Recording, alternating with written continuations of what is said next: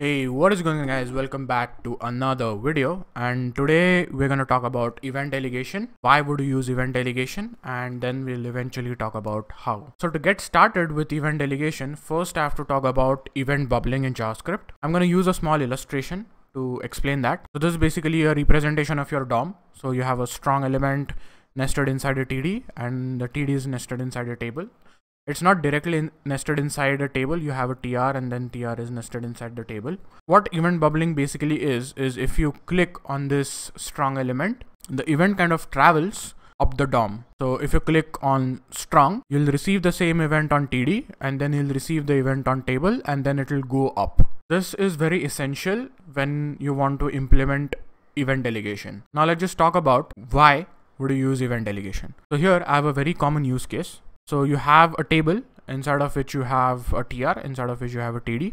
And, and the use case is when you click on this td, something should happen. Maybe change the color of the td to a different color. So the traditional approach to do this is basically you traverse the table, you find each td, and then you use the add event listener API to add a event, for example, a click event.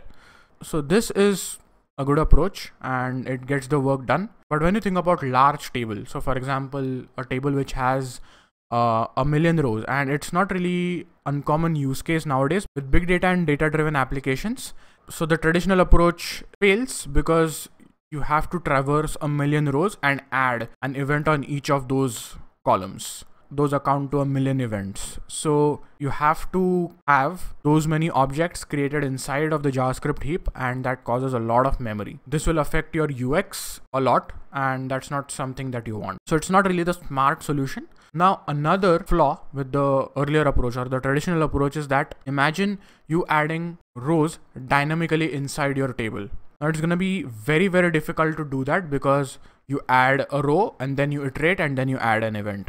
So it, it's not really impossible, but it becomes very, very tedious. To avoid all of this and to do it in a very smart way, we do something which we call as event delegation. And what ev event delegation is, it basically means a parent handles the child's events. So you delegate the child's event to the parent. So the parent is responsible for handling events which are triggered onto your child. And the two problems that I mentioned are solved very, very easily with event delegation. So if you have a million rows, you just have one event on the parent. And the second thing is even if you add more rows into your table, the table isn't destroyed and recreated. So, so the event, no matter you're adding rows dynamically or statically, really doesn't matter its execution. Now let's just take a look at some code. So here what I ha basically have are two implementations, one which is the traditional one and one with event delegation. So basically what the code is trying to do is whenever I click on any TD, it changes its background color to red. So this is basically the traditional approach. You use query selector and you select all of those TDs. And this is the third column. So I've used the nth child selector and then for each TD, you just add an event listener. And this, this is, this basically works because you just have four rows and you don't see any performance hits. But when it comes to a million rows, you'll see a lot of uh, lag and time for processing. So you have the query selector, you select, you iterate over each TD and you add an event. And in that event, you kind of change the style, uh, the background style to red. So this is without event delegation. Now, how do you do this with event delegation? So let me just explain it, explain the code.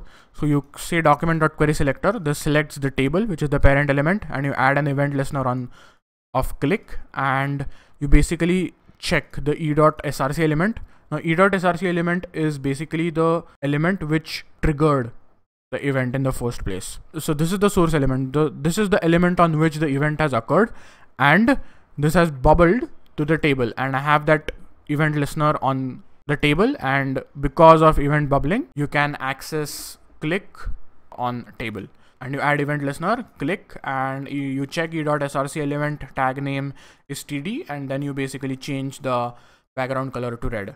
So even if you add more rows into your table, the implementation won't change. And neither would this because you're using for each, but we are creating way less events uh, in this implementation as compared to this implementation. So yeah, that's gonna be it for this video. If you like this video be sure to hit the like button and if you're new here be sure to hit the subscribe button.